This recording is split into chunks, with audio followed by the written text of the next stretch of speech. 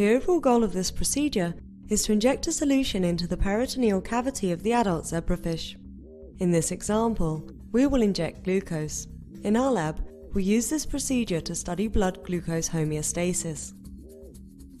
This is accomplished by first weighing the fish to determine how much solution to inject per gram of body weight.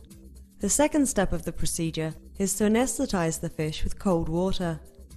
The third step of the procedure is to transfer the fish to the microscope stage and inject. The final step of the procedure is to return the fish to its tank for recovery.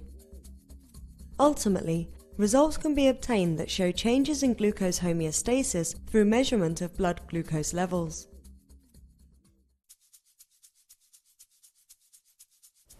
Hi, I'm Mary Kinkel from the laboratory of Victoria Prince in the Department of Organismal Biology and Anatomy at the University of Chicago. I'm Stefani Eames, also from the Prince Lab.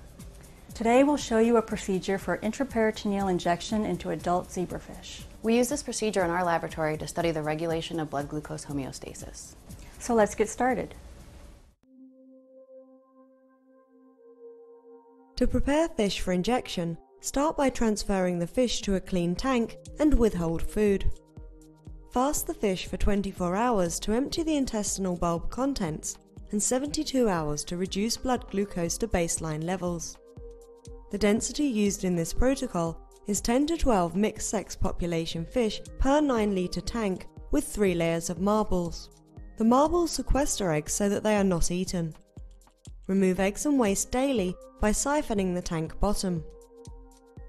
Next, prepare Cortland salt solution using 124.1